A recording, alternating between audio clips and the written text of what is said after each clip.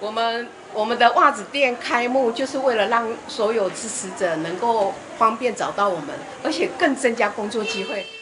二零二二年十二月二十九号上午，玛利亚快乐袜子店正式在台中市西区柳川东路开幕。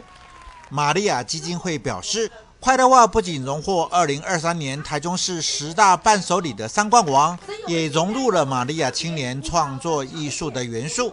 这次快乐袜子店实体店面的开幕，一口气雇佣了二十九位身心障碍人士。玛利亚基金会表示。会继续提供更多的就业机会给这些可爱又认真的漫飞天使。所以，我们这个袜子已经增加了二十九个障碍青年的工作，甚至我们的店长从庇护员工领一万六，现在变成一般员工符合劳基法领两万六。到场主持剪彩仪式的台中市长卢秀燕表示：“快乐袜有环保无毒的制作理念，配合台中市旧城区的著名地标印象，加上可爱缤纷的图案。”卢秀燕呼吁大家要穿好袜做好事，让玛利亚的用心跟爱心扩大到全世界。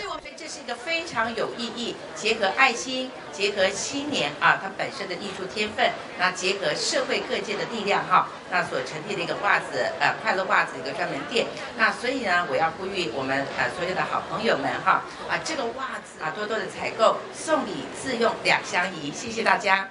玛利亚快乐袜从去年底推出之后，一年内已经从三款图案增加到二十七款，明年将增加到四十三款，到目前业绩已经突破两千五百万。十二月二十九号实体店面开幕之后，店内除了有快乐袜之外，也有各种公益商品跟咖啡。玛利亚邀请大家一起来采购，发挥善心做爱心。记者陈文旭、肖佑金台中报道。